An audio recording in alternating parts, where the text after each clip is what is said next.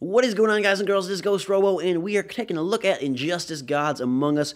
Me giving you my thoughts and impressions. What you're looking at is the demo that's available on Xbox Live Marketplace and PlayStation Network, but I'm going to be talking about a much more complete build of the game that I played last week at PAX East. Now, I've been following this game since June of last year when it was unveiled at E3. Most of you have been like, Ghost, you got to play this game. A lot of comments on Twitter and messages saying, Are you going to play Injustice? Are you going to play Injustice? And I think the answer is yes, I'm going to play Injustice because it plays really well and it's a whole lot of fun. Now, I was not allowed to film at PAX East. About seven seconds after I started, they said no taking pictures, no recording with video cameras, which to me makes no sense. The game was out on the show floor. It was just TV on the side of a wall with a, a, two demo stations, and I did not understand why they didn't want me to cover it. But that's why you're getting to see three different characters here uh, from the demo, Wonder Woman, Batman, and Lex Luthor. On the default difficulty, it was pretty darn easy um, in this single-player mode, but I'm sure as you progress through, it will ramp up, and of course, you can always bump to hard, and more importantly, you can play versus. So I got to play at least six or seven matches against Jake, and we tried out almost every single character that was on display. So we played Aquaman, we played Raven,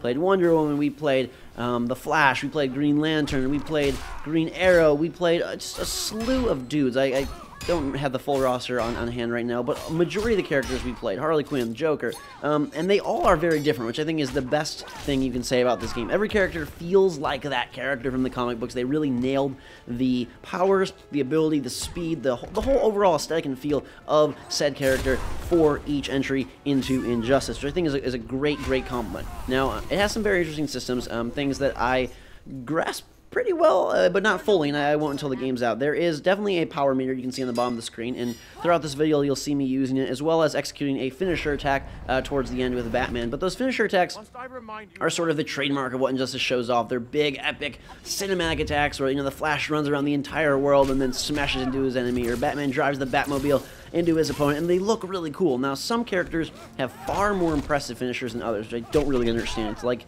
they designed five of them really, really intensely, and then they're like, oh, we have to come up with ones for these other guys. But nonetheless, they're still pretty cool. All the character intros are fun. Um, they definitely mess around with stances a lot. Majority of the characters that I played uh, had two different stances. You know, Wonder Woman, you'll see, can go whip to sword, and there's a whole different, uh, Green Arrow can pull out lots of different arrows, and, and just a lot of different things with stances. Um, as well as combos. But the big, the big unique point of this game is the environmental interaction. And uh, when I played it back at PAX Prime last year, I really didn't know how to execute the moves, and it didn't seem very clear. But now there's a right bumper button prompt, uh, or I'm guessing R1 or R2 if you're on PS3, that every time um, you're near one of these interactable objects will pop up and you can use it to your advantage to take down your opponent. Now, they aren't necessarily guaranteed hits. Maybe you pull a, a, giant gargoyle off the wall and smash it down, and if you miss, you're left vulnerable for half a second. So it's, it's not like a, oh, walk in front of some cool object, press right bumper to win. And in fact, more often than not, when I was playing against human opponents, I missed. Um, it, you have to really set it up, and, and, you can use it as part of combos. Kind of,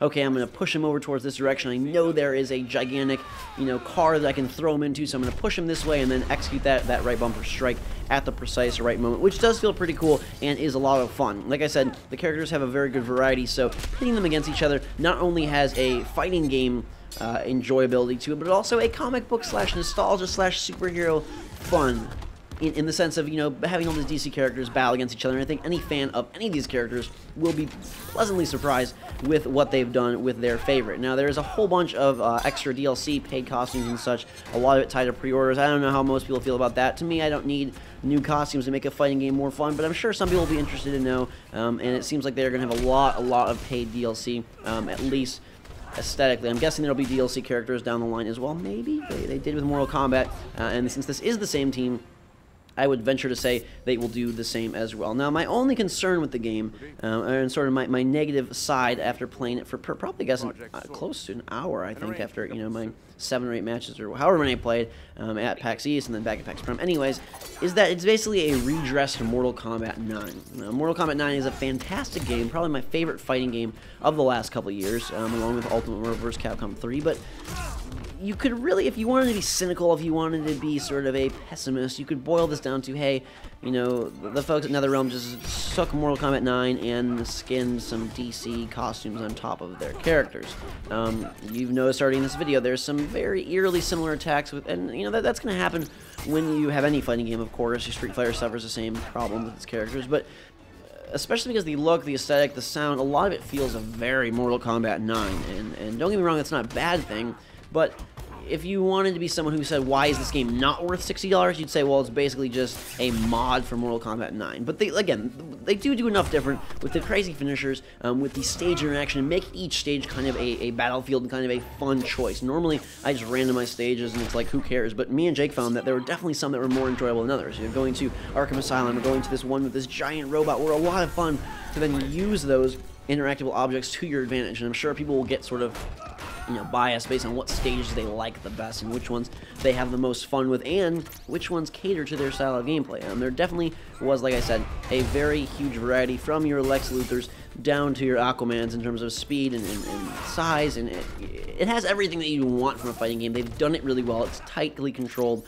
Um, the move list seemed decently extensive. There's this weird, uh, like, I don't even remember what it's called. You'll see in this video, but it's like a conflict mode where you press one of the face buttons. I don't even understand why, um, but it, it, looks pretty good. It, the demo, for some reason, doesn't look as good as the game I played on the show floor at PAX. I don't know if it's just because this is an earlier build. I don't know if it's because the TV they had there was better. And I've been hearing this from a decent number of people that it doesn't look as good in the demo as they were expecting. I think it looks better. Um, I think the final build will look better. But yeah, that, those combo, those attacks are just strange. I know that was kind of a strange tangent from uh, weird fighting, battling Dragon Ball Z Clash compared to graphics. But anyways, the game overall is really awesome. I really enjoy it. I'm excited to play it. it releases April 16th of this month. I think it's going to be a whole lot of fun. If you're into fighting games, if you're into DC, definitely a worthwhile day one purchase. If not, if you're sort of iffy and if you've already spent hundreds of hours in Mortal Kombat 9 and you know you don't really need to see your favorites from DC in action, uh, you might want to rent it. Um, but nonetheless, it's been a very fun game. It's one that me and Jake waited in line over and over again uh, to play again and again and again. And a, and a, show where there's a lot of options for things to play, that says something really positive about the game. Uh, and I am looking forward to it. As an extensive single player mode, there's like XP gaining and a bunch of random stuff. I'm sure it's going to boil down to just fights. But Mortal Kombat 9 had a really good single player mode, so I am excited to check this one out for you guys in just about a week and a half. Until that time, though, let me know what you think in the comments below. Hit that like button if you're excited for Injustice and you want me to play it on April 16th. I will make videos for you guys if interested. And yeah, thanks so much. Have a great day. Hope you enjoyed. Until next time, guys, girls, we'll see you all later.